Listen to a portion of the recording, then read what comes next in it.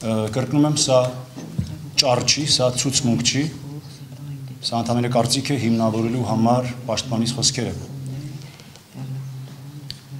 Այն կարող է մի քիչ ավելի երկար լինել, դա այո կամ ոչ չի միայն։ Հաշվի առնելով մի հանգամանք նաև, որ գործը շոշափում է ոչ միայն դա իրավական, այլ նաև բարոյական հարցեր։ Հաշվի առնելով նաև, որ սա իմ առաջին խոսքի հնարավորությունն է։ Այն ես ուղղում եմ ձեզ։ Սիրելի մայրեր, անտակ է ձեր վիշտը,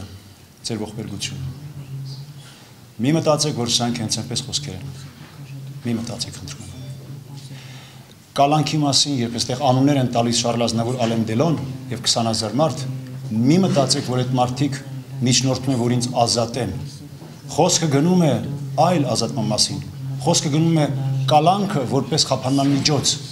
այս սրա մասին, որի մասին միգուցե դուք չգիտեք ինչ է։ Դուք մտածում եք երի կալանք։ Այդ դեպքում, այդ դեպքում թույլ տվեք կարծիքս հիմնավորել։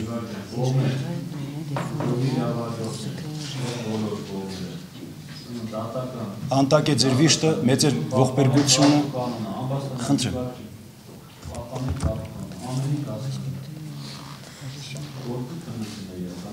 աշխատեք ուղղակի մաքսիմալ ձևով ձեզ բարելանքով ձեզ նախատեսված է քրեական դատավարություն դերից մի խոսեք առանց նախագծում Իշտորության քննարկումը ամբողջանը կապիտալի ինքնա դրամասի իրավունքների հրապարակում դիտորշումը հայտնելու ներկայացած իշխանության կապակցություն։ Կարելի է։ Ասեք, դատանին հայտնեք ձեր կարծիքը ներկայացած իշխանության կապակցություն։ Կրկնում եմ, սա կարծիք է միջնորդության հետ կապված հիմնավորելու համար այո։ Բայց թույլ տվեք նաև խնդրում եմ հաշվի առնելով որոշ հանգամանքներ, որոշ հատկանշական կողմեր, այնուամենայնիվ դիմել մայրերին։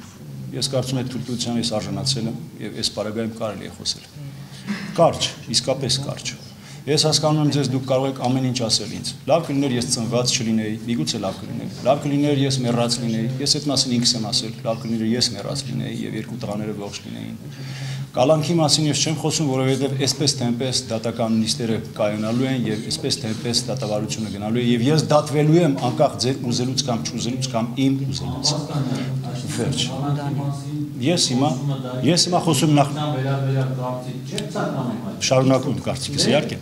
Գալով նախնական կալանքին որպես խափանման միջոց, ես ուզում բարձաբանել եւ իմ կարծիքն ասել թե ինչու դա կիրառվեց, ահա թե ինչու։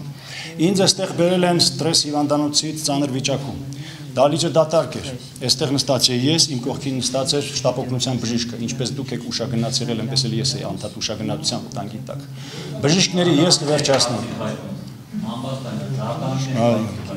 Արգարժան դատախազի կողքը տեղում մեղադրող քննիչն էր, որը ներկայացրեց որպես խափանման միջոց կալանքի հիմնադիր կետերը։ Փաստաբան Նիկոլայ Բաղդասարյանը հերքեց հիմնավորապես, ավելին ասեմ, ջախջախեց այդ կետերը։ Եվ ամենազարմանալին այն է, որ դատավորը միացավ։ Նա միացավ եւ դիմեց քննիչին։ Դիմեց նույնիսկ հայրաբար, ասեց. Ոչ միայն պարոն քննիչ, այլ հայք, դուք իսկապես կարծում եք, չէ որ կալանքը որպես խափանման միջոց օգտագործում կամ կիրառում են ծայր աստիճան վտանգավոր հանցագործների նկատմամբ։ Դուք իսկապես կարծում եք, որ Վարդան Պետրոսյանը այս վիճակում վիրահատությունից նոր դուրս եկած հայելի հազիվ քայլող բժիշկների հսկողության տակ պիտի ազատության մեջ գնա, վնասի, սպանի, ինչ որ բաներ փոխի։ Դուք իսկապես այդպես եք մտածում։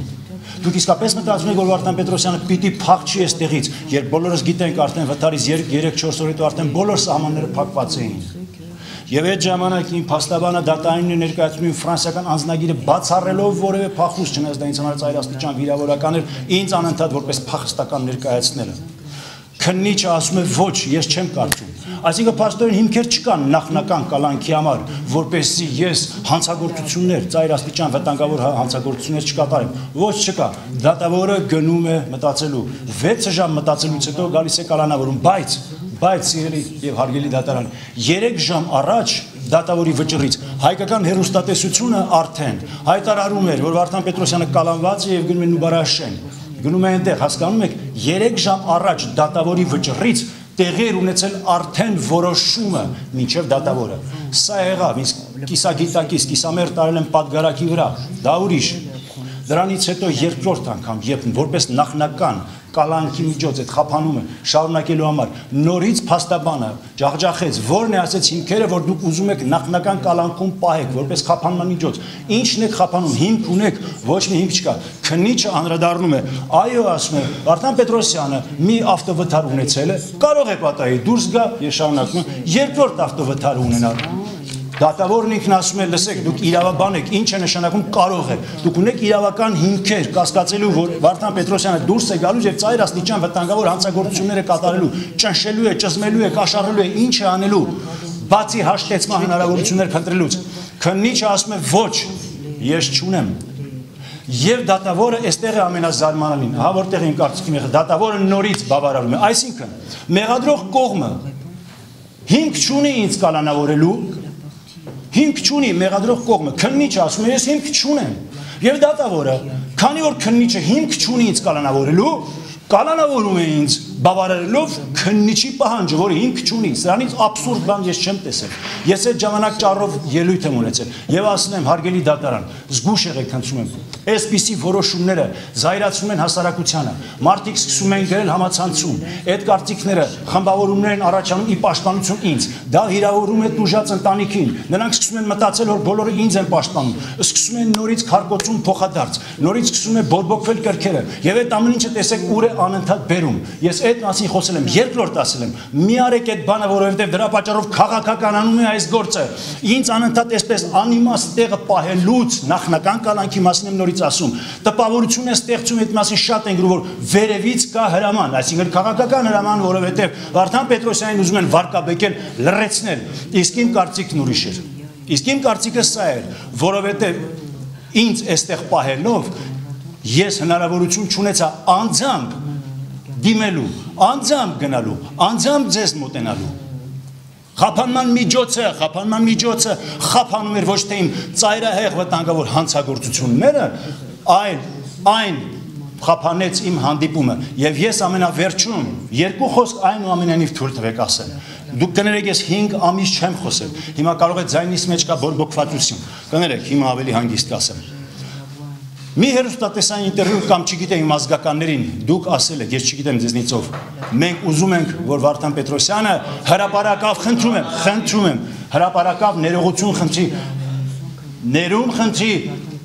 հերոստատեսության։ Սիրելի մայրեր, ոչ թե հերոստատեսությամբ, 10 հերոստատեսություն այստեղ կա։ Սաղ աշխարհը նկարում է։ Բոլոր մամլոյցարայություններն այստեղ են։ Դուք կարծում եք, ես պիտի ամաչեմ, ես պիտի վախենամ, հենց հիմա այսքան մարդկանց առաջ դուք կարծում եք, ես պիտի վախենամ կամ ամաչեմ, կամ ձեզնից ներում հայցեմ։ Ես ամբողջ կյանքս ձեզնից ներում եմ հայցելու։ Ես հայր եմ, ես գիտեմ ինչ է կորուստը, բայց սա դատարան է։ Իմ կեցվածքը դատարանի արժեք ուրիշ է եւ ձեր արժեք ուրիշ Կարիք չկա։ Երեխաներին ես գիտեմ, ես հաճախ եմ նրանց նայում։ Ես նրանց հետ ամեն օր խոսում եմ, ամեն օր աղոթում եմ նրանց համար։ Ինչ դա ձեզ կտա, կարևոր չի։ Սա իմ ողբերգությունն է ձեր հետ կրում եմ։ Եվ ես ասում եմ այսօր, դուք ինձ այստեղ պահելով ես հավատացեք մոռացել եմ արդեն ինչ եք գրել մոռացել եմ իմ հասցեին ինչ եք ասել ինչ ուզում եք դուք ինձ ասեք մի րոպե ինչ ուզում եք ես միևնույն է ներող եմ որովհետև գիտեմ ինչ է մայր սքավոր ես գիտեմ ինչ է հայր որովհետև ես հայր եմ ու ես ասում եմ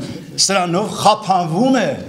իմ մոտեցումը ընտանիքին եւ ահա թե ուր է այս ամեն ինչը գնում ասա է իմ կարծիքը խափանման միջոցի մասին կալանք որպես խափանման միջոց խափանեց իմ մերձեցումը որը ես անընդհատ փնտրել եմ եւ միևնույնը չնայած է շիկացած մտնոլորտին միևնույնը անընդհատ փրկել եմ թույլ տվեք հենց հիմա առանց ամաչելու ես գամ ձեր արչեւ ծունկի գամ ներում խնդրեմ մայրեր չեք հավատում կներեք ես չեմ խոսել թույլ կտակ դուք թույլ կտակ Կներեք, չեն թույլ տա, որովհետև օրենքը, օրենքը թույլ չի տալիս։ Տեսնում եք, որտեղ էս բարոյական քայլ եմ անում, օրենքը դեմս կանգնում է, որտեղ էս օրենքով են պաշտպանվում, բարոյականությունն են դիմացես հարմում, ինչ անեմ, բարոյականությամբ թե օրենքով, երկուսին էլ պատրաստ եմ։ Հենց հիմա պատրաստ եմ։ Սա էր իմ կարծիքը։ Շնորհակալություն։